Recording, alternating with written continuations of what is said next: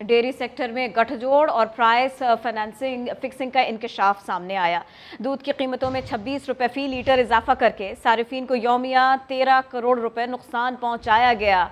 मजीद जानेंगे इस्लामाबाद में समा के नुमाइंदे शकील अहमद से। शकील, ये कितनी कितनी तकलीफ़ दे सिचुएशन सामने आई है?